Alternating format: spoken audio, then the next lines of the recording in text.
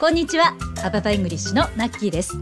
前回の理論編に引き続き今回はアルファベットを習得するために授業の中で簡単にしかも効果的にしかも楽しく使えるアクティビティを目的別にご紹介します。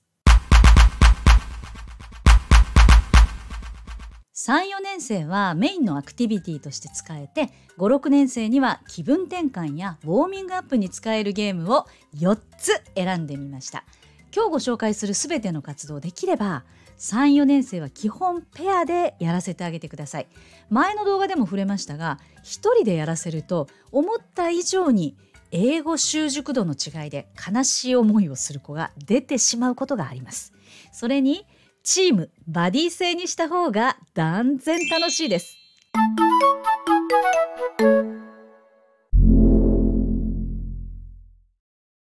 これ知ってますか？K-POP アイドルグループの BTS のメンバーが3年ぐらい前かな「バター」っていう曲の中で披露したファンのアーミーのための一文字です。これねアーミーって書いてあるんですよね。はい。え興味のある方メイキングもあるのでぜひ見てみてください。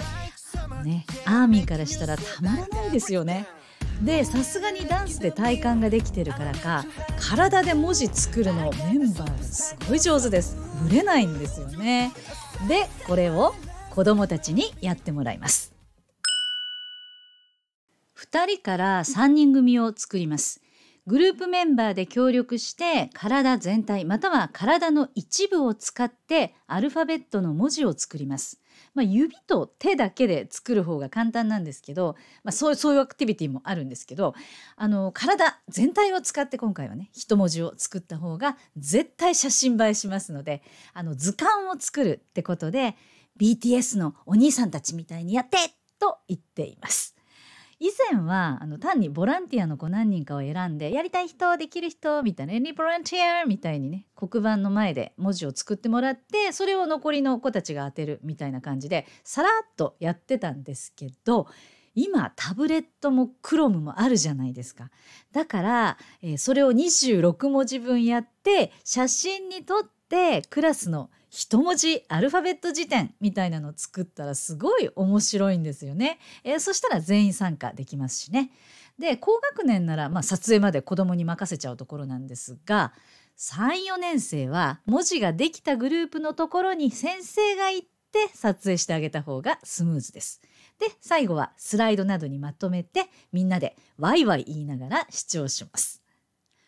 文字をよく観察してどこがどうなってるのかを考えないと体で表現することはできませんよねだから文字認識図形認識のとっても勉強になりますうちの学校はえ今回これを最終活動に持ってきて文科の指導案にあるイニシャルのアルファベット文字カード作りは第3次に名前のイニシャル1つだけで簡単にやる予定にしています。形を覚えるアクティビティもう一つ。これは Let's Try のテキストにある活動なんですが実はこれが多分ね図形認識としての文字の形を覚えるのにはとても有効だなって感じています。今まで何度もやってきた中で一番スムーズで効果的だったやり方をシェアしたいと思います。これはテキストを使って簡単にできます。端末の自動カードを使って各自で仲間分けをします。そして何人かに発表してもらいます。最近私はこっちのやり方です。個人ではなくって2、3人の小グループで行います。まあ3人よれば文殊の知恵じゃないですけどその方がねああでもないこうでもないっつっていろんな意見の中から選ぶことになるので発見や気づきがぐんと増えるんですよね絶対おすすめです。えーと、まずグループになって机を一つ上をきれいに片付けさせてそこで仲間分けをさせます。使うのは同じく端末カードですが、まあ、もちろん自分たちのカードを使ってもいいんですけどなくなった破れたとかもうぐちゃぐちゃになったとかもううるさいので 私は毎年卒業生に寄付してもらったもう英語ルームに置いてある端末カードを使っています。これねするとあのストックもいっぱい増えてどんどん増えて、まあ、1枚なくなってもすぐに補充できてとっても便利です。で、えー、机の上に端末絵カードを広げてもうどんな分け方でもいいんです。ね、自由に仲間分けしてもらいます。でできたグループは手を挙げます。先生がタブレットかクロムで撮影して前のスクリーンでその場で全員と共有します。で同じ仲間分けした子いるかなみたいなの聞いたりしてね。であの 本当にこれ毎年ね違う仲間分けが登場したりしてむっちゃ楽しいんです。作ったグループの子に説明してもらうんですけど、まあ、例えばこんな感じ。これ何仲間ですかと。えー、っと斜めの線がある仲間です。みたいな。じゃあこれは？あこれは縦に一本ある仲間です。えこれは何の仲間かな？えー、っとそれはなんか空間がある仲間。空間って何？ってああこういうことねみたいな。あとこっちのグループはねこれ向きを変えたら同じ形になる仲間とかこれちょっとだけ違う双子の仲間とかこれ何ですか？これはね、はい、右向き仲間ですね。はいまあ、こんな感じでねあの大変楽しいですし興味深いんですね 3年生の頭の中がね。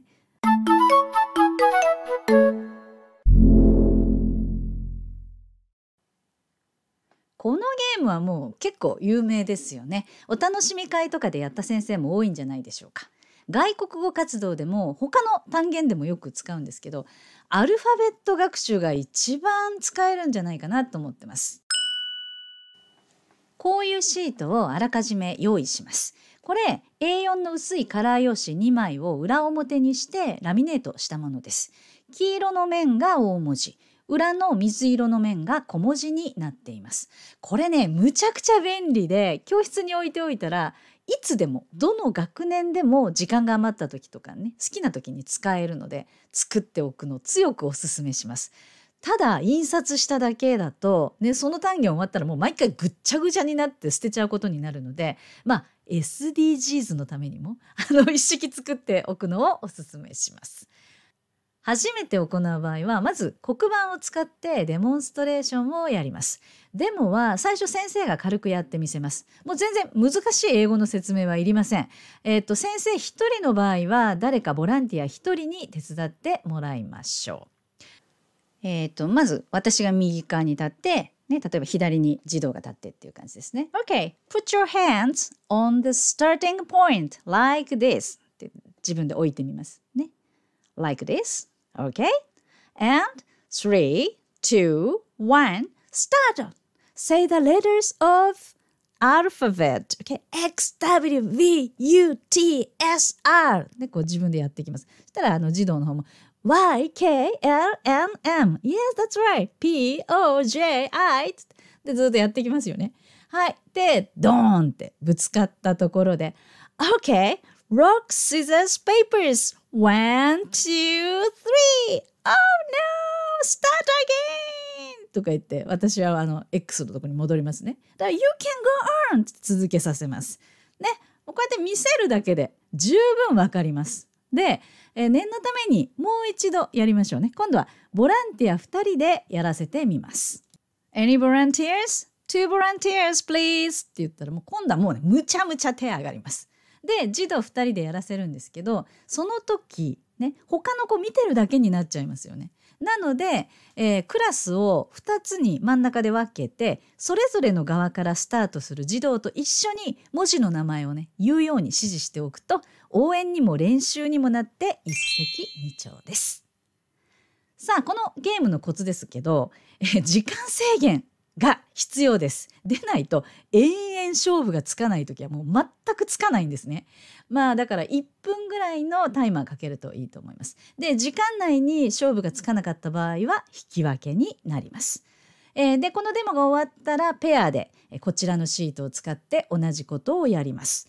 で終わったら勝った回数を最後ね聞くといいですよ。そしたらあのトップ2人もう4回勝ったとかいう子もいたりして、えー、その子たちを立たせてねトップ2人でそのデモで使った黒板のを使って勝負してもらう。ね、ケロスケ VS ケロタみたいなでそれも盛り上がります。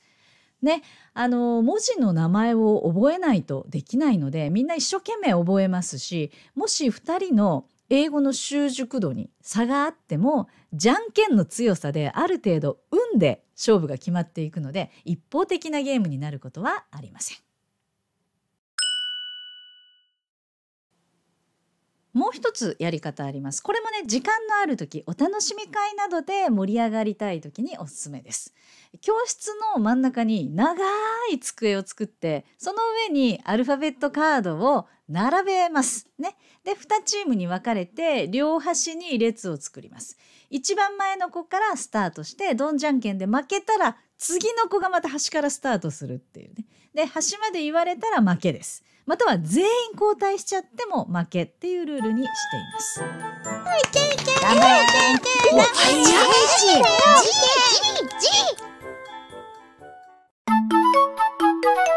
れ